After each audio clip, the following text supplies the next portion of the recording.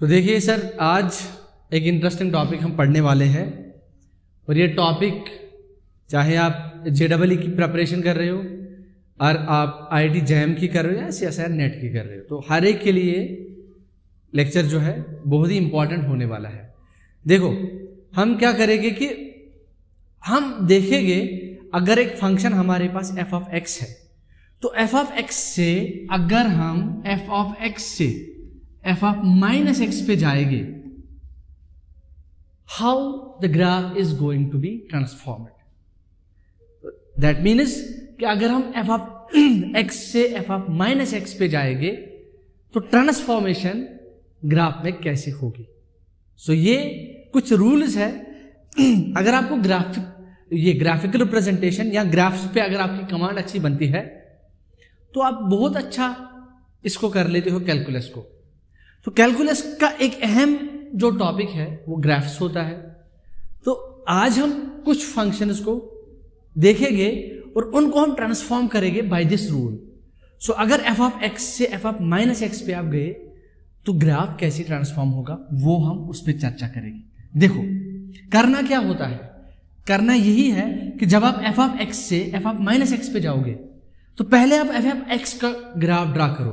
So draw the graph of f of x then reflect that graph about y axis फिर उस graph को reflect करो about y axis and remove the graph of f of x then the desire जो आपके सामने करो आई that the desire curve then the graph is the desire curve या आप ये बोल सकते हो वो जो रिफ्लेक्शन आई वो जो image I that image is the desire curve so this is rule number one तो आगे ये चार पाँच रूल्स है अगर हम एफ़ ऑफ़ एक्स से माइनस एफ़ ऑफ़ एक्स पे जाएँगे वो भी सीखेंगे अगर हम एफ़ ऑफ़ एक्स से एफ़ ऑफ़ मॉड एक्स पे जाए वो भी सीखेंगे और अगर हम एफ़ ऑफ़ एक्स से mod of f of x पे जाए वो भी सीखेंगे अगर एफ़ ऑफ़ एक्स से f of fractional part of x वो भी सीखेंगे और अगर एफ़ ऑफ़ एक्स से एफ़ ऑफ़ एक्स का फ्रैक्शनल पार्ट ऐसे वो भी सीखेंगे और ग्रेटेस्ट इंटीजर तो these are some important transformation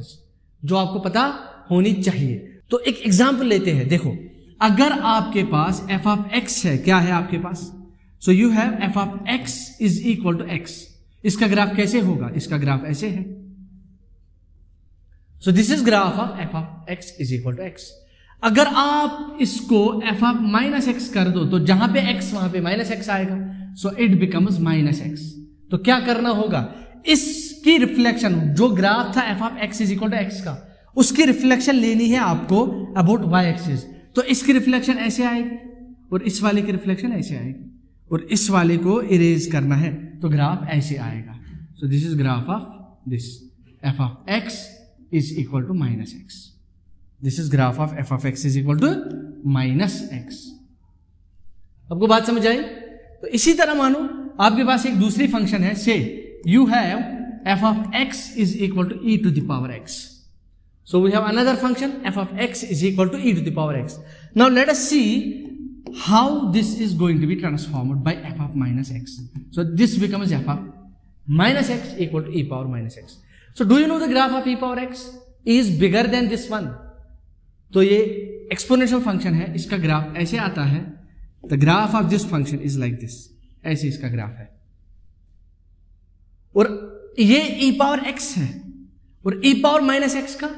तो इसकी रिफ्लेक्शन लेनी है इसकी रिफ्लेक्शन ले लो इसकी रिफ्लेक्शन जो आर एच एस में है उसकी रिफ्लेक्शन अबाउट दिस ऐसे आएगी।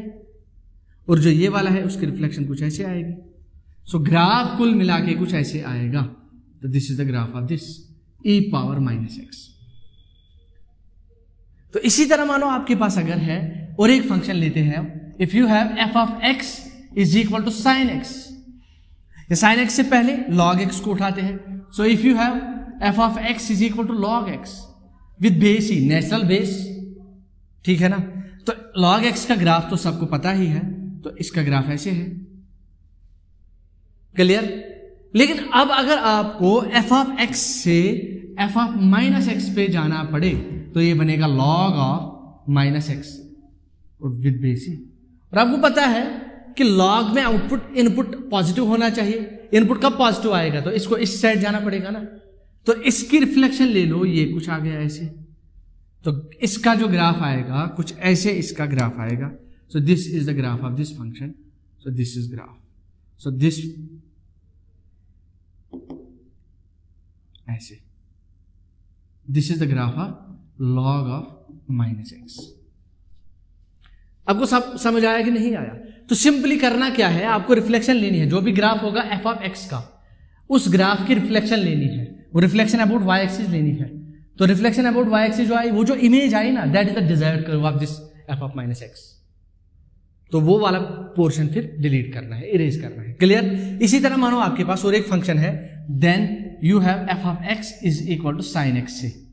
साइन एक्स का आपको पता ही है कैसे इसका ग्राफ तो this is the graph of sine x तो this is graph of sine x ऐसे ऐसे आएगा।